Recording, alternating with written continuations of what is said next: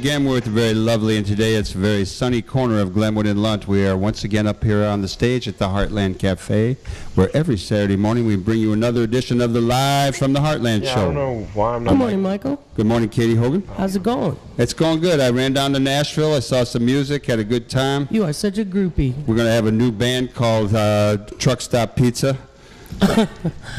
I can't wait. Yeah, okay. We have a busy show today, Michael. We've got uh, our good friend uh, Bob Lawson in from the West Coast talking to us about UAW, transnationals in the South, organizing all over the place, and probably Walmart, uh, fast food stuff. some philosophy along the way. We've got Sue O'Halloran, uh, also a very good friend from many years, uh, the storyteller par excellence, who's going to talk to us about her uh, online storytelling festival coming up. We've also got Richard Berg going to talk to us about the Midwest Action Against Drones. Uh, And we've seen Richard in here for years, too, so Yeah. he's an old friend. Yes, yes, yes. And we're another gonna- old friend. And we're going to kick it off with John Davis, who is not brand new to this show. He's been here before. Good morning, John. Good morning. How you doing? So far, so good. Properly caffeinated. That a baby. Oh, that's good. That's what we need. Fired up. So, uh, Ready to go. Uh, yeah. How about that? Um, uh, John, you are part of the participatory budgeting gang, right? That's correct. Yeah, I'm on the uh, leadership committee here for uh, participatory budgeting here in the 49th ward, and um, we're kicking off our fifth year. Fifth Uh, year, my goodness. Yeah, yeah. We were the first ward in the city to adopt participatory budgeting, which um, basically means that. Uh, you know, e- as you know, each ward in the city gets a, about a million dollars to spend every year on capital infrastructure improvements. In most of the wards, the alderman, him or herself, decides how to spend that money with whatever input they seek. Here in the 49th Ward, though, Joe Moore was the first one to adopt participatory budgeting, which means it opens the process to every voter in the ward or every resident in the ward age 16 and older. You get to, um, you know, propose ideas. Um, we ask that, uh, you know, for people to volunteer to be on committees that take a look at those ideas, shepherd them through, the, you know, can it work? How much will it cost? You know, does it, you know, get it ready for a uh, ballot that in the spring every resident in the ward 16 and older gets to vote on which projects will get funded. 16. Yeah. Every 16, I like yeah, that. 16 and older. Yeah, it's a fun thing. Um, we need to up the number of people who vote on this, then, you know, don't we? Yeah, I mean, yeah, I've that's voted on it every year, Yeah, community outreach, furthering community outreach is always, um, you know, a goal of ours. task. Uh, Mhm. yeah, a task indeed. Um, it's reaching people who aren't part of the process and bringing them into not just voting, but the civic process of really community and neighborhood and placemaking. So this kicks off with a bunch of assemblies, which are starting this week, which is why you're here now, so that people hear about it and get get there. Absolutely, absolutely. The uh, neighborhood assemblies. This is the first um, opportunity for people to um, come and hear about participatory budgeting, find out about it, um, start proposing ideas, and hopefully volunteer to be part of the process. Um, the uh, neighborhood assemblies kick off next week. Tuesday, October 1st, is the first one at Sullivan High School, uh, followed by uh, Wednesday at the United Church of Christ, um, not uh, too far from here. As a matter of United. Church of Rogers Park, we call right. that. I'm sorry, yeah, United Church of Rogers Park. Mm-hmm. And then um, next Saturday, October 5th, is the first ever Saturday meeting we um, are going to hold. Uh, that'll be at Willye White Park up on Howard Street. Uh, meetings will continue um, the week of, um, you know, October 7th, and then uh, we'll conclude on the 16th um, at uh, Pottawattomie Park. And a, uh, a Spanish language meeting on um, October 17th at um, St. Jerome, right down the street from here. Yeah. And at those meetings, people not only get to say, I think it would be a good idea if we did thus and so, and Right. some of some of the ideas in the past have included um, some wonderful uh, artistic things that may or may not have actually come into being. I remember we voted for uh, artistic uh, bicycle uh, artistic yeah artistic bike racks um, Bike racks. that was that's i'll get back to that in a moment but some of Nah, the you things don't have to. it's all right. some of the things that we've done um, you know underpass murals we've got 26 underpass murals completed another seven on the way and once we, once that's all said and done uh, the 49th ward will have the most underpass murals of any ward in the city so Speaking we'll, of we'll which, be unique there's a ribbon cutting today for this mural right out here. Both you- murals. yeah, the there uh, you go. The bike Who rack. are those people they put on that mural? We, maybe we'll find out today. It Yeah. is a mystery. Yeah, but um, if I may quickly, um, some of the other projects that um, have come about thanks to participatory budgeting and because of it. Um, the bicycle lanes, the explosion of bike lanes since, you know, in the last five years on Touhy, on Rogers. Um, this year, people voted to put bike lanes on Clark Street. Um, that's a direct result of participatory budgeting. Um, bus, you know, bench, bus stop benches. And the dog park. Um, The Can't dog forget park, about yeah. the dog park. Yeah, oh, absolutely. No, the dog park at Pottawattomie, that was a big one. Um, yeah, the, the big belly machines all up and down uh, Sheridan Road was a big one. So, um, John, we we've always covered this on the radio show. Um, might you come back after the uh, the assemblies kick off and let people keep people informed on how they can uh, get involved? Oh, absolutely. We If you- certainly announce. He likes coming on the show when he's not in the gym. Okay, there you go. Wow, that's generous.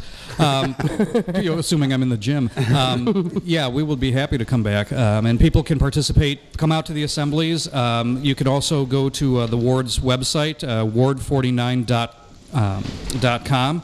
Uh, there you'll find out more information. You can sign up for email bulletins and alerts. And uh, get more information about participatory. Are we uh, off of last year's voting? Uh, people tend to be going more for sidewalks and streets, and I think on, we are currently having 30 some odd streets repaved. You got a right number? Yeah, well, um, And sidewalks, is it ever fun? sidewalks and streets have been a big one, especially this past year because of all the, um, you know, two things. The recession um, really squeezed the, the amount of money for street and sidewalk repair, and the People's Gas work that they've been doing throughout the ward um, was really a pain. But you know, it's necessary infrastructure work. But uh, now that they're completed. We're doing 16 streets that were approved over the last two or three years worth of voting. Those are getting done this year, this kind of ongoing right now. Okay, Um, and that email, I mean the um, the website again is The website again is www.ward49, that's the number 49.com. dot com. All right, John Davis. Thank you for your participation in this uh, magnificent practice. I got one quick question yeah. to you. Do you know how many wards are participating this time? Um, I believe it We were the first, we there were, are we're three? the first, and now there are three three wards total. So it's us. It's us. So far. Yeah, plus us. So now it's four total. Okay, we're moving on up. Moving on. All right, thank you so much. John. Thank you very much for having Go me. ahead, finish And your you breakfast, are listening kiddo. to the Live from the Heartland show. I think rather than do any music, Katie and I will banter while our pal Richard Berg comes on up here, and we're going to talk a little bit about drones and how maybe we can prevent them, etc. So much, uh, so much for banter, Michael. You banter. Uh, banter. There is today the uh, Rogers Park Harvest on Howard Street event. That's today, up on uh, Howard Street. It's the uh, I don't know how many annual, but uh, it's at Willye White Park, one to four p.m. Uh, food, music, uh, Okay, it'll be good. yeah, you know, all that stuff. Richard Berg, you are a guy I've regularly seen uh, chowing down in, in, at a table at the Heartland. Welcome home for uh, for this. Oh, it's great to be here. It's a beautiful uh, Saturday morning in Heartland Cafe. Great food, great drink, and uh, you know, and we're talking about And trying to great make a better politics. world and great politics. That's exactly right. So it's great to be here with you too. So about uh, six months ago, we had Medea Benjamin up, and when I saw the uh, notice uh, that about the events this weekend, I actually did reach out to her because we had such a good time with her. And you are here instead. I gotta say, you're missing your pink. I, I am missing the pink. He's got a little pink in this shirt. Yeah. Of course, Medea's uh, the Code Pink uh, chairperson. Uh, her plane is landing right now as we're speaking, so uh, uh, she'll be at the events all weekend. This is important to her, and uh, she's been a major spokesperson against drones, uh, you know, across the country and across the world. Actually, she uh, she's doing a, a book release of her book, um, which I forget the title of, but it's Drones, Yada Yada by Medea Benjamin. March on Boeing is today. Okay, there's two events this weekend, if I out. could.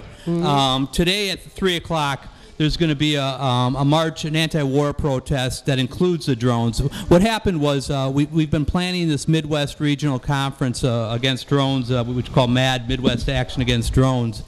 But uh, because of the actions in uh, Syria, we've included that. That's been a lot of the discussion uh, that's going on. So this group also opposes uh, the bombing and U.S. intervention in, in Syria.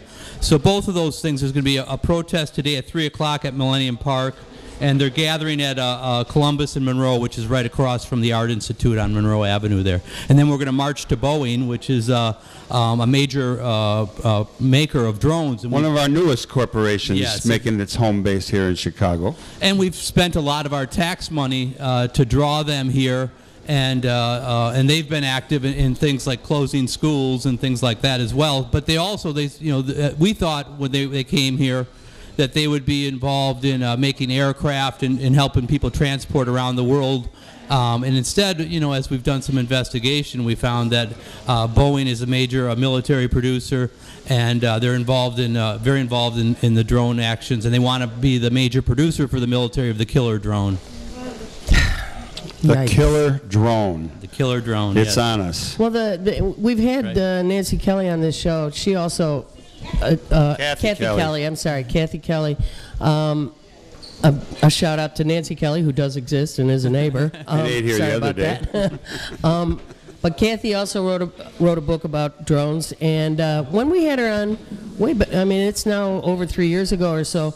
Uh, we also talked about domestic spying use of drones as well. Is that Yeah, I mean, is that proceeding as well? Absolutely. Um, there, the, um, there's been some articles that have been out lately that you know the FBI is using drones right now um, to spy on uh, people in the United States. So there's a whole slew of uh, civil liberties issues that will be covered at the conference uh, as well, which I'll, I'll give that plug now, I guess. But uh, um, so the protest is today at three at Millennium Park, but tomorrow. There's a conference uh, at Kent Law School, uh, which is going to be all day, where we're going to be talking about these things. It starts at 9:45 uh, a.m. and it goes till 3 a, uh, 3 p.m. And uh, the Kent College is uh, is uh, 565 West Adams, so it's in the West Loop there.